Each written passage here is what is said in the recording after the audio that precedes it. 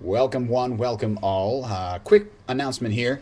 Just wanted to let you know I am putting together a team to do a Guild Wars 2 audio podcast that may include some video down the road, but uh, posted on, on the Guild Wars related forums and such. But I wanted to tell everybody who may or may not be interested in Guild Wars 2 because it's freaking awesome and I can't wait for the. I'm obsessed with it. Okay, so it's coming out probably early next year.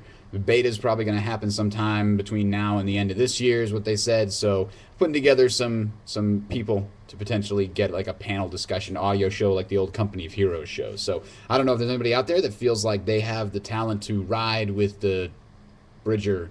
Wow, that sounds awfully pompous. I'll I'll I'll take it. Challenge accepted. So uh, if you are interested, check the link in the description, and you'll see everything there. All right, signing off. клетки.